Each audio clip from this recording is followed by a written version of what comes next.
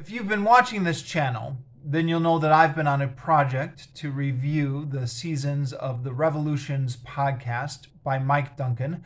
I've been working my way through season by season and giving my thoughts as I go for whatever those thoughts may or may not be worth. Uh, and if you haven't been watching, I'll, I'll link to all my previous reviews in the description down below. But I am now up to season eight, just finished season eight, the Paris Commune uh, of Revolutions podcast, and I'm here to give my thoughts on it. Now, I'm going to do my usual thing where I ramble on and on in a somewhat disorganized way and just empty my head of all my thoughts. But uh, uh, I'll try and be succinct here at the beginning and, and give the short version. I thought this season was absolutely fascinating. Uh, it was uh, Mike Mike Duncan did a great job of making this digestible, making it understandable, and making it interesting. Uh, and he's he's really come into his peak storytelling powers at, at about this time in his career. Uh, I mean, I think it, it, gets even better when he gets into the Russian Revolution. But uh, th- th- this was great. I was absolutely captivated while I was listening to it. Of course, you've got to take my opinion with a grain of salt because Paris Commune is one of my uh, special historical interests. So, uh, you know, of course, I'm going to be captivated by it. But I, I, I, thought this was just so well told, wasn't it? I, I was completely enthralled while I was listening to it, but I do think that I, I wonder if it should have been longer. I, I, I'm not sure, but my suspicions are it would have been even better uh, if it had been a few episodes longer and had maybe a few more details introduced in here. There, there's a few things he skipped over. Or I don't know, maybe it's perfect just like it is. Like I said, I'm, I'm a little bit on the fence about it. Okay, that, that's my short version. Now I, am going to get, into all my detailed thoughts on this. So, I, as I mentioned briefly before, this Paris Commune is one of my special areas of historical interest. Uh, the first time I heard about it was when I was taking a college class on 19th century Europe, and uh, the professor very briefly mentioned it. Uh, Paris Commune did not get its own lecture. She just tacked it on very briefly to uh, the revolutions of 1848, uh, in which she was talking about the conflict between the socialist revolutions and the Republican revolutions. And she just said something at the tail end like, um, th- this division would go on to become more exasperated in the Paris Commune, uh, which was a socialist revolutionary revolution, but uh, involving Karl Marx, she said. Uh, but it fell apart because the revolutionaries couldn't agree on what they wanted. I, I actually got the impression from her lecture that the Paris Commune was a mini episode within the 1848 revolution. Um, but that that's that's all I got from it. But it, it was enough to uh, pique my interest. Uh, so I went out and uh, read a few more books on the Paris Commune. I, I, went through a couple different phases on this.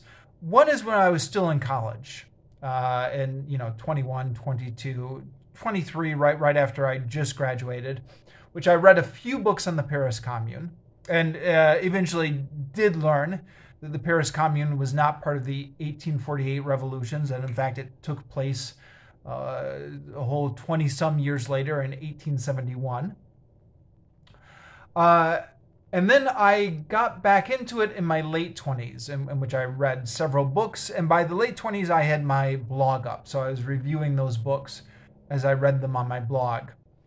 Uh, I was fascinated by the Paris Commune for a few different reasons. Uh, one is uh, I when when we think about socialist revolutions, I, I, think we often think about the 20th century, right? Lenin and the Bolsheviks, or uh, Castro in Cuba, or Mao and the communists, uh, and and we think about all the um, the the the brief period of ideal idealism followed by long periods of depressing bureaucracy that uh, so, uh, accompanies with the, the socialist revolutions or you know the guerrilla warfare which uh, accompanies the, the, socialist revolutions in Cuba and China, etc. But, but the Paris Commune is a, a socialist revolution that, that's coming on the tail end of the cycles of 19th century revolutions. So it's got the barricades, it's got the red flags, uh, it's got the, the, the Paris street mobs. Uh, it, it's it's kind of like the French Revolution, but with the, the socialist aspect added to it. So that that little bridge, be uh, coming as it does at the end of the cycle of French revolutions in the 19th century, and then connecting ahead to the socialist revolutions of the 20th century, that fascinated me. But what also fascinated me is the thing my professor mentioned briefly, uh, is that um, it's a classic example of leftist groups being more concerned with arguing with each other than they were with uh, actual victory. Uh, now, I, I know that's the least charitable lens through which to view the Paris Commune, but that, that is one possible framing of the story of the Paris Commune. Uh, and that has gone on to characterize leftist politics in so many different epochs of history. Uh, and, and uh, you know, arguably characterizes leftist politics right down to the present day. Um, but but certainly when I was involved in um, more radical politics, that that seemed to characterize everything that was wrong with it. Uh, so it was it was a little morality tale of um, these leftists who were so concerned with their own little ideological vision of it that they just couldn't come together and got crushed crushed by the Versailles government. Uh, now, as Mike Duncan says in his um, uh, in in his podcast, it's an open question whether or not they could have succeeded under any circumstances. Like even if they had been unified, could they have withstood the Versailles, uh, assault from Versailles? But they they certainly did not get their act together and did not become unified, and that did not help things at all. So so I found those two uh, elements of it very fascinating.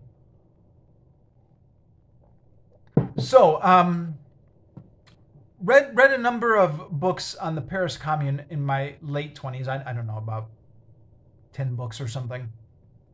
That that's that's good for me. Uh, I, I tend to be a slow reader, only read a handful of books a year. Uh, so the Paris Commune became somewhat of my area of expertise that I had carved out for myself in, in history. Now, all that being said, having claimed a little bit of area of expertise on this, I'm going to back off on this slightly. One is uh, my late 20s were now 15, almost 20 years ago now, as I've gotten older. So uh, all of those books that I read, uh, I'm relying on memories that are 15 years or more in the past. So it, it's all kind of half remembered. And then even at the time, it was all a little bit jumbled in my mind. So, so maybe some of you can identify with this if, if you've ever read a number of books on a certain subject. Uh, if, if you're not taking notes and if you're not doing a serious study of this, you read one book and it, it kind of gives you a, a, certain picture of it. And it's of course you never remember everything you read perfectly so it's all kind of half jumbled there. And then you read another book and it gives you a, a completely a somewhat different picture. I was going to say completely but let, us go with somewhat. Somewhat different picture where you're you're remembering stuff there there are some things in the second book which were not in the first book and there are some things in the first book which were not in the second book. So you're trying to fit those puzzle pieces together. And then there, there are some things that are the same, but they've got a slightly different narrative. And then the third book gets over the top of that. And I think this is especially true with a subject like the Paris Commune, which has so many things going on, on it. I mean, all revolutions are confusing, but the Paris Commune can be especially confusing because we start off I mean, and, and, and, and imagine, imagine first getting into this, right? Me first getting into this in my 20s, I really don't have a solid grasp on 19th century French history yet. you're starting off with the Paris Commune, and you've got the uh, all the different factions in French politics: the monarchists, the legitimist monarchists, the Orleanists. Then you have the Bonaparte Bonapartists, who are in power at the beginning of 1871, against which you have the Republican opposition, the liberal opposition, uh, and then you have the radical opposition.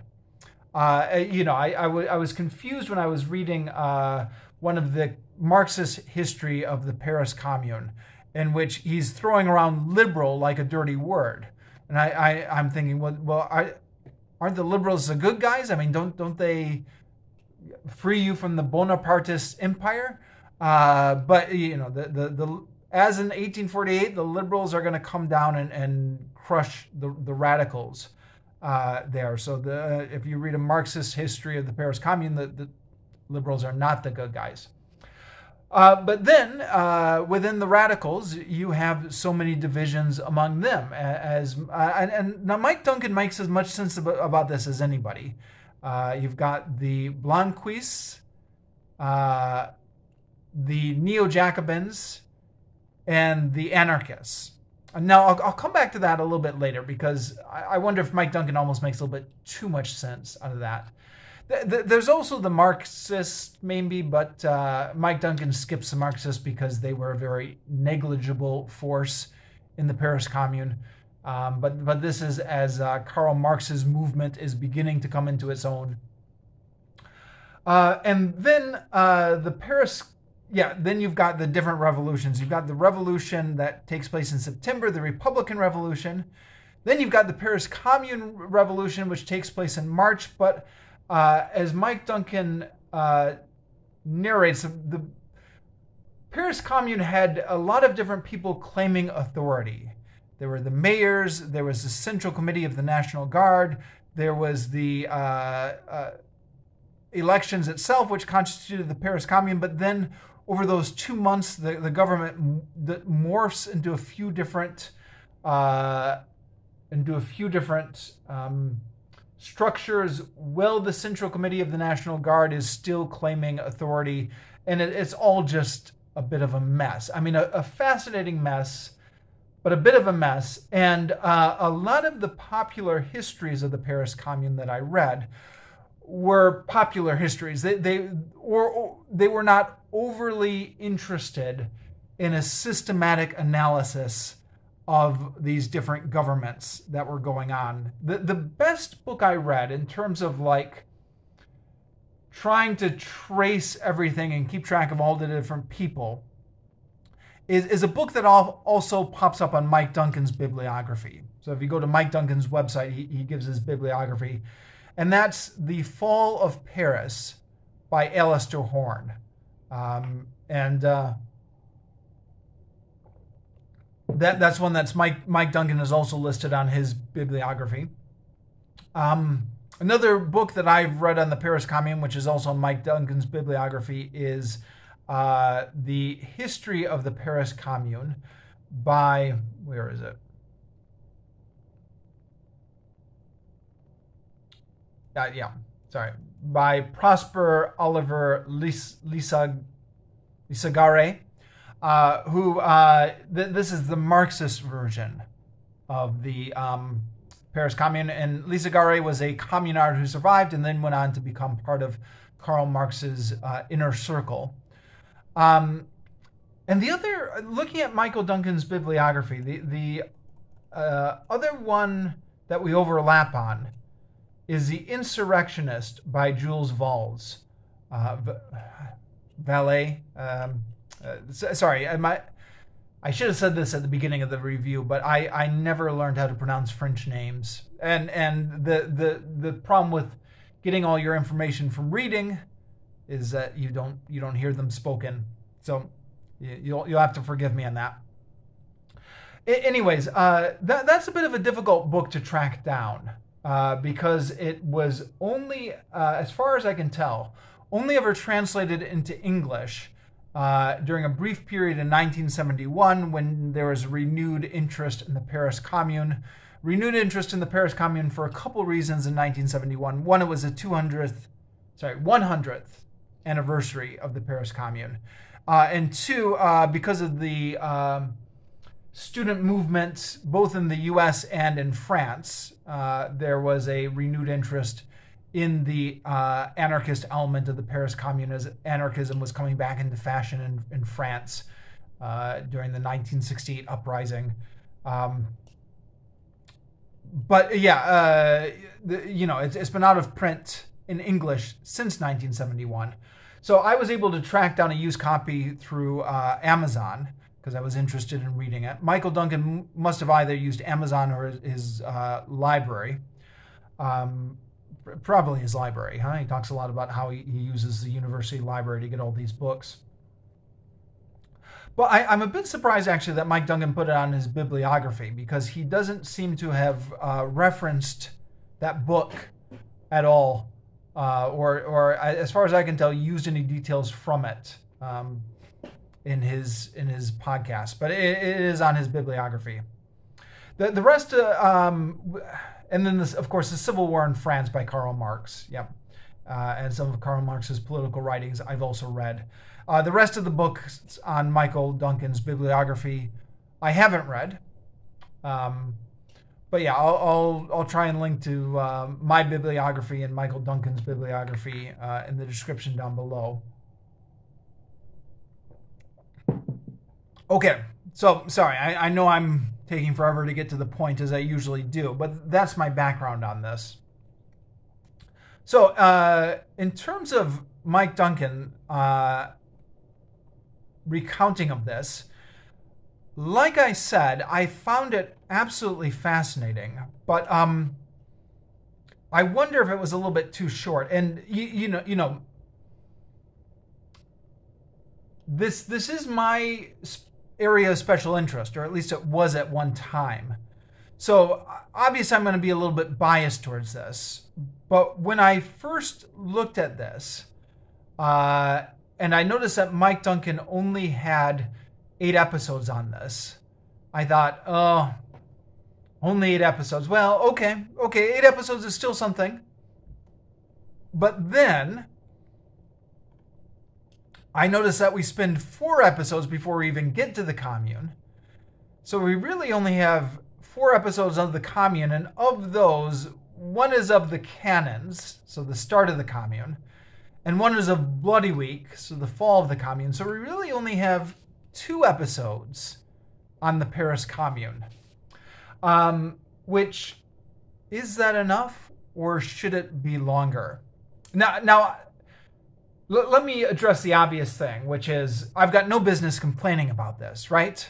Because um, who else is going to give eight episodes worth of content on the Paris Commune? Now, granted, four of those are leading up episodes, but um, still, uh, e- even if we just look at the two episodes focused on the Paris Commune, which is 8.6 and 8.7, that's still two 40 minute episodes on the Paris Commune. I mean, I mean, uh, good episodes. Where else are you going to find 40 minutes, uh, 80 minutes on, on the Paris Commune? I, I, don't know. It's probably out there somewhere on YouTube or podcast or something like that. But um, the, the, the last time I looked for it, and now granted, the last time I looked for it was quite some years ago when I was into this stuff, but it, it was hard to find decent audio content on the Paris Commune. And, and here we've we've got something that anywhere you cut it is is a lot longer than what you might expect to find. Add to that, uh, I'm not paying Mike Duncan anything at all, so this this is all free content I'm getting. So, what right have I to complain about it, right?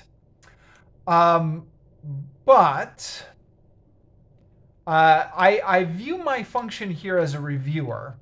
Uh, a, a, reviewer's job is not to say, well, I shouldn't complain because it's all free right? A, a, re- a reviewer's job, uh, I think, is is to compare the product to the idealized product that the reviewer can imagine might be created. And I'm, I'm borrowing this definition a little bit from Freddie DeBoer when he talks about the the the job of a reviewer.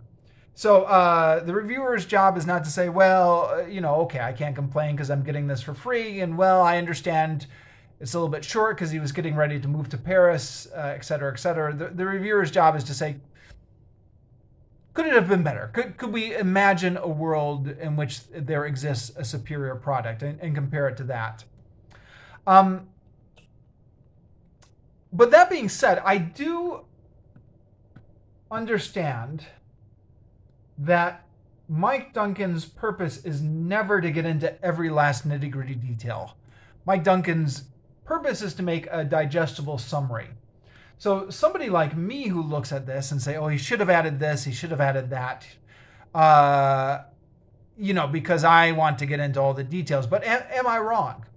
Uh, would adding more details spoil the flow of the narrative? Now, th- there are at least a couple hints here that um, the reason it's only eight episodes is not because eight episodes was the ideal number, because that was the deadline he needed to hit before he packed up and moved to Paris. Um, it, it's a little bit difficult to tell with his phrasing, but uh, th- th- there are some sentences he mentions where we get the impression that this thing is being wrapped up on a deadline. So um, maybe if Mike Duncan didn't have a move in front of him, he, he would have done 10 episodes instead of eight. Uh, you, you get that impression a little bit. Um, and then I, yeah, you, you, you wonder how much better it could have been with the additional episodes, if in fact that was the case, if it was the deadline forcing him to constrain himself. Um, I Okay, yeah. Uh, let me get into some more details a little bit here. So the first episode, 8.1, uh, is not getting into the Paris Commune at all. It's just getting into the history of the Second French Empire. Uh, and um, I, I begrudge this a little bit because we've only got eight episodes on the Paris Commune. Let's actually get into the Paris Commune, part of me wants to think.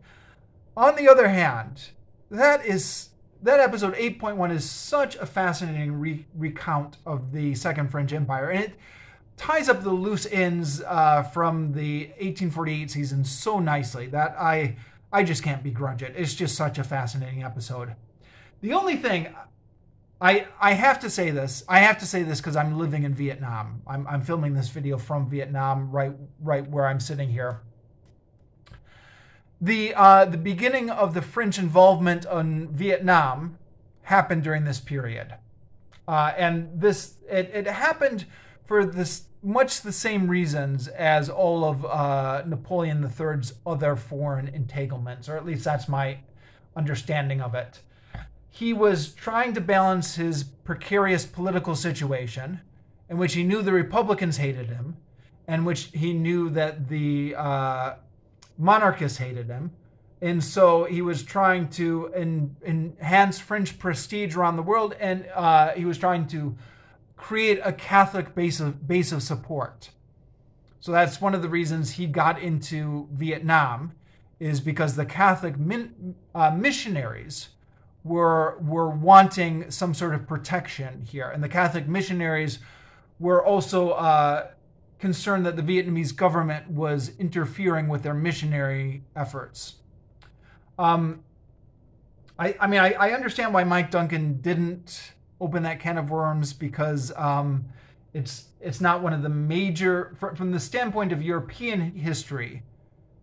It's not major. Now, from from the standpoint of world history, obviously the fact that the French got into Vietnam is going to have cascading effects that are going to ripple through the Cold War history of the 20th century. But okay, in, in, terms of the actual history of the, the Second Empire itself, it's it's a sideshow. But you know, it's I I'm living here in Vietnam, so I, I can't re- resist mentioning it.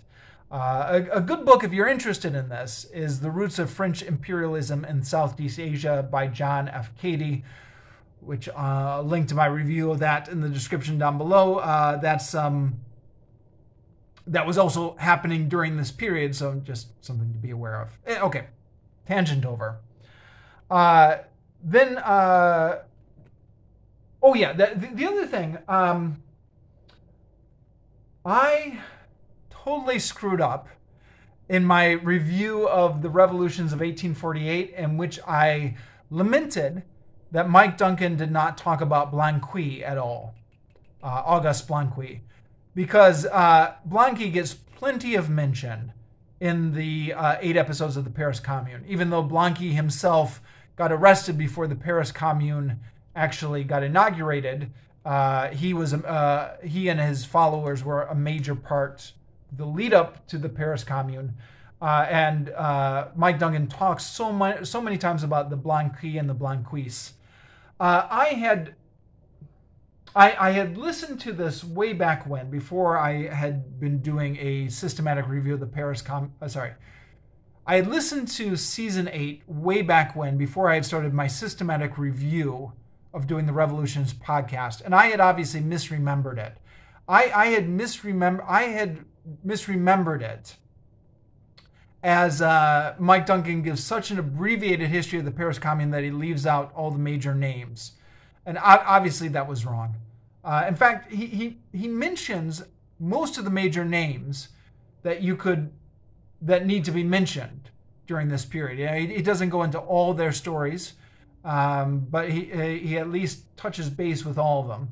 The, the only two names which I think get dropped here, uh, or sorry, which which I recognize as being dropped. Um, th- there may be others I'm not catching. Uh, is Gustave Flourens and Victor Henry Rochefort. Uh, again, I, am probably mispronouncing it. It's it looks like it's Rochefort in English, but Rochefort would be the French pronunciation. Uh, I don't know. So uh, the, the, the, these, as I'm going through and thinking, okay, what did Mike Duncan leave out? Th- these are the only names that strike me. Uh, now, both of these names I'm, I'm, familiar with, among other sources, from Alistair Horne's The Fall of Paris. Uh, and he, he makes a, a big deal about both of these names. Rochefort was uh, somebody who was on the leading edge of uh, radical ag- what's the word I'm looking for? Agitizing, uh, agitators, one of the radical agitators leading up to the Paris Commune. But when the actual Paris Commune itself breaks out, he gets cold feet uh, and and kind of drops out of the public eye during those two months. Uh, not, not, that it ends up helping him. He still gets condemned as a communard and, and shipped off to exile. And he, has got an interesting history after the Paris Commune as well. He comes back and he actually takes a rightward turn near the end of his life and becomes one of the anti Dreyfusards during the Dreyfus affair in the 1890s. But that, that's, that's going down a whole different, not going to get into that now.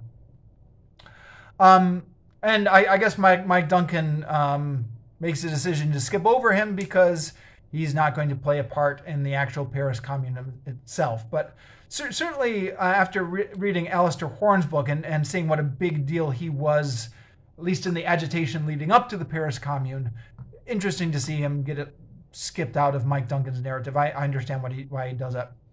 The other guy is Gustave Flourens, who uh, along with Blanqui, was one of the, the leading revolutionaries. Uh, and he, he, leading up to the Paris Commune. Uh, and he, he, he was an interesting guy. He was a flamboyant revolutionary. He, he, he had his, his whole little mini army organized around him. But he gets uh, captured uh, in the one of the first uh, uh, what no, the word I want to use. One of the, one of the first engagements of the Paris Commune when when they're meeting up with the Versailles troops, uh, and then he gets, according to Wikipedia, Wikipedia says he gets murdered by the officer who captured him. I I seem to remember. I hope I'm not remembering this wrong. That the officer he goes up to surrender to the officer, and the officer just take recognizes who he is, takes out his saber and just cleaves uh, his the saber into his skull and kills him on the spot. And then his body gets desecrated by some of the Versailles women, uh, if I remember rightly, just because they thought, you know, oh, you know, he's a socialist scum. Um, and I guess you know because he died fairly early on. Uh, maybe that's the reason he gets left out of Mike Duncan's narrative. But both both of these guys were prominent leading up to it. Other than that, other than those two, uh, all the other names I can think of, uh, Mike Duncan uh, touches base with. Um, comes out as the villain in uh, Prosper Oliver Lissagaray's uh, book on the Paris Commune. Um, and I, sorry.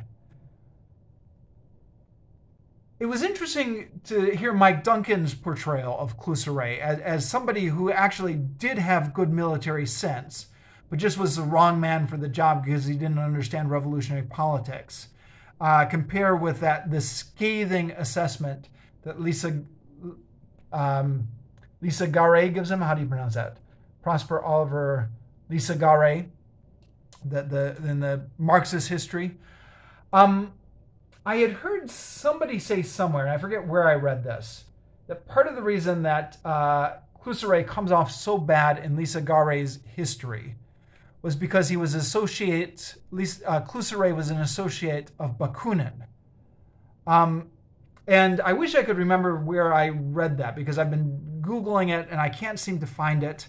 Certainly, uh, the, port- the portrait that uh, Mike Duncan gives of Cluseret, he is not an anarchist, uh, far from it. But I guess the, the connection maybe with Bakunin is both he and Bakunin were in the um,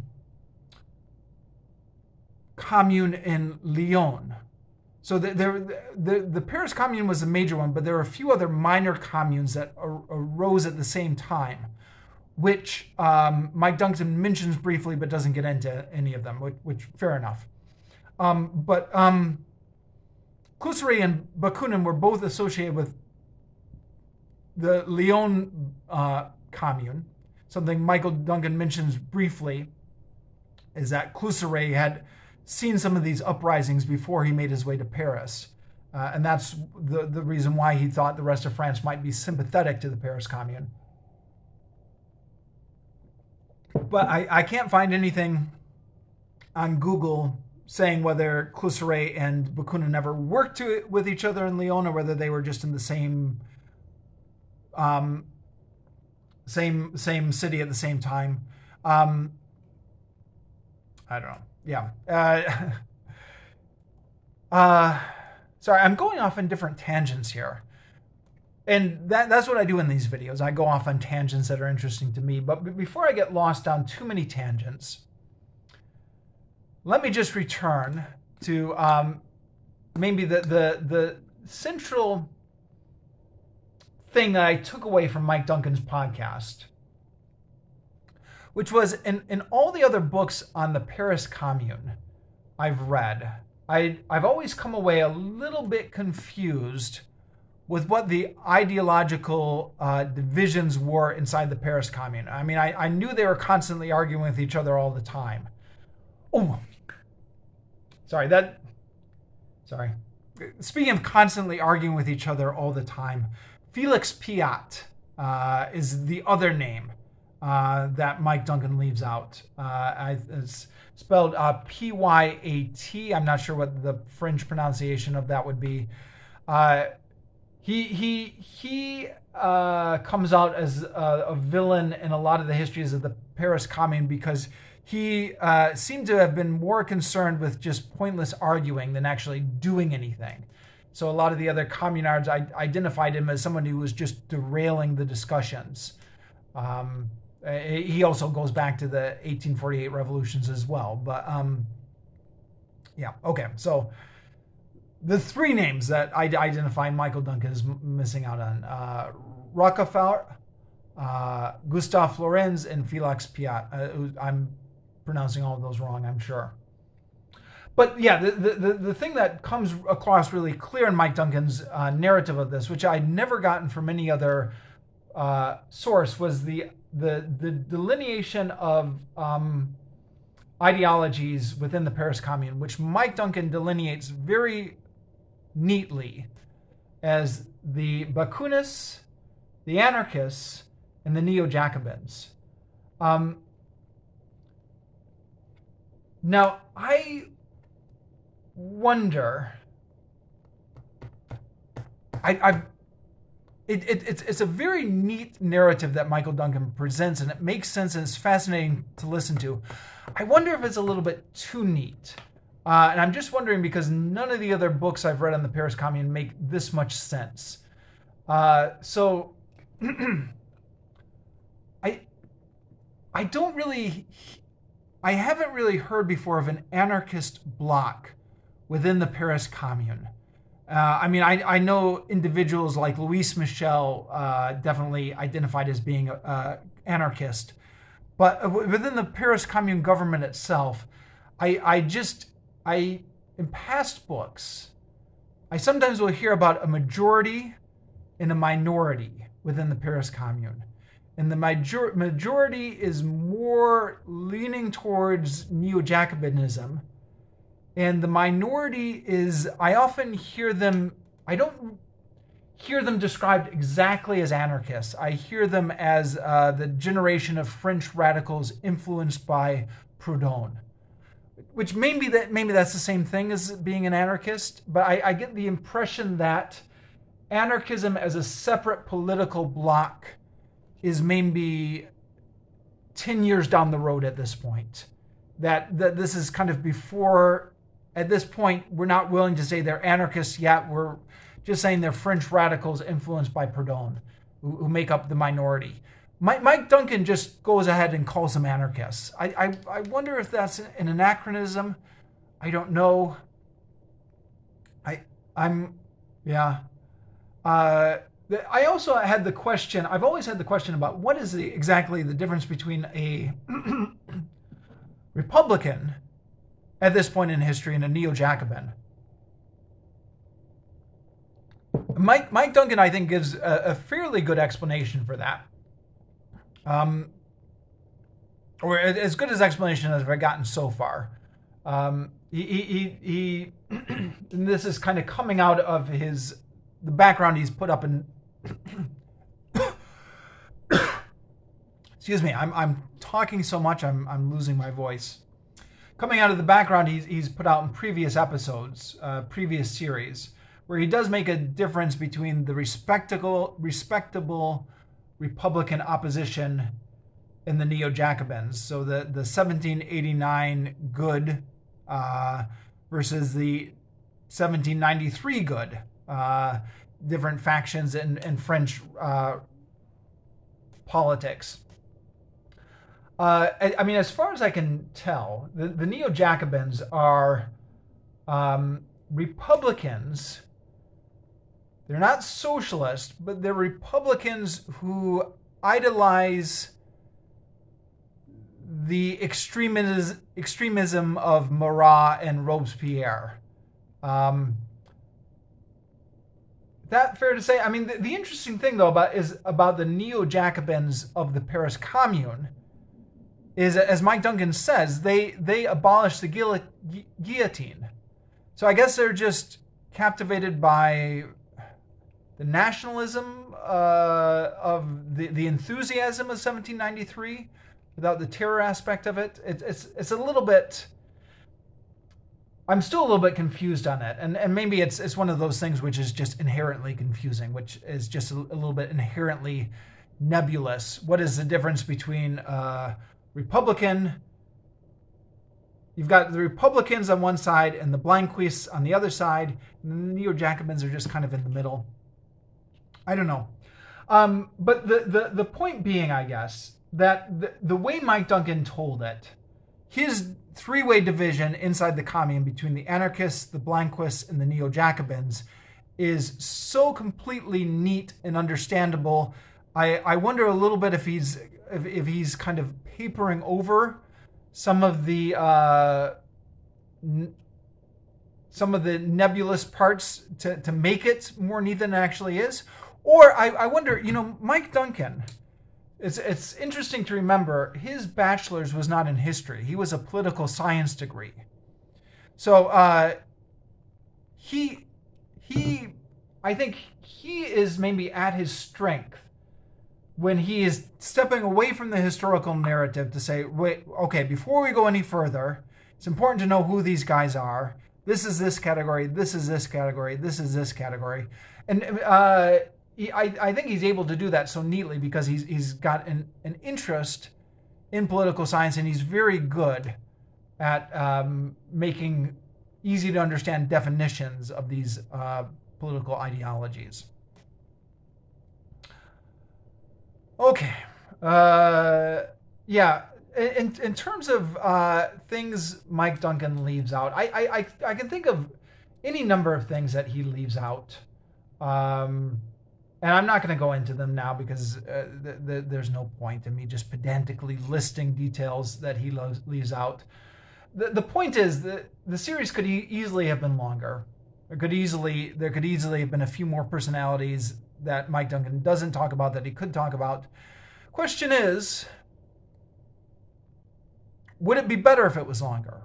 Or is it is it just perfect as it is? And you know, I've got to admit, it's very compelling listening at the eight minutes that it uh, that it is in. The uh, I said I wasn't going to list details that Mike Duncan left out, but one thing, one interesting thing, which I did pick up from Alistair Horne's uh, book, The Fall of Paris, in which I, I can't resist mentioning, is uh, Louis Blanc, the guy who was the uh, socialist leader in 1848, who Mike Duncan does talk about a lot in 1848, the right to work guy. He's still around in 1871. But uh, in that confrontation Mike Duncan describes between the, the mayors and the Versailles Assembly when they're trying to negotiate a peace, Louis Blanc does not support the Paris Commune. He uh, supports the assembly at Versailles. Uh, and if I'm remembering right, according to what was in Alistair Horne's book, Blanc says, We are the ones that are elected. You, you guys are unelected. You're just uh, an uprising. But we, we have the, uh, the Republican legitimacy here. Again, I hope I'm not misremembering any of that. It's been it's been close to 20 years since I read that book, but I believe uh, Louis Blanc was on the assembly and was not a supporter of the commune. And I think I think if I'm going to nitpick anything, I think that would have been an interesting little detail to include. And Mike Mike Duncan's audience is already familiar with who Louis Blanc was, uh, because um, Mike Duncan uh, told his story during the 1848 episodes. Okay, I'm going to stop, start here. I'm to stop here. Uh, uh, apologies for the fact that I'm a little bit more rambling and a little bit more disorganized than usual on this video. Some some days are like that. I just it's the danger of doing these things unscripted, huh? If it's been useful to anyone, great. If it's been tiresome, then I, I certainly hope you just exercised your right to stop watching long before you got to the end here. And I certainly feel like I've said my piece and that I've gotten all of this outside of my head and outside myself, uh, which is what the purpose of these videos are, anyways, is just to give me an opportunity to relieve my thoughts.